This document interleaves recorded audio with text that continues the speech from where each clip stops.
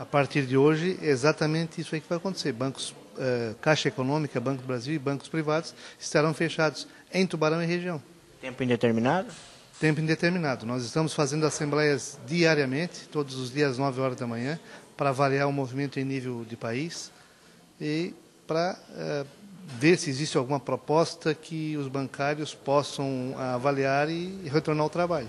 Os bancos estão em greve, é, é a nossa database, todo mês de setembro. Nós, no, mês, no final de agosto, entregamos uma pauta de reivindicação e daí para cá a gente vem negociando. Né?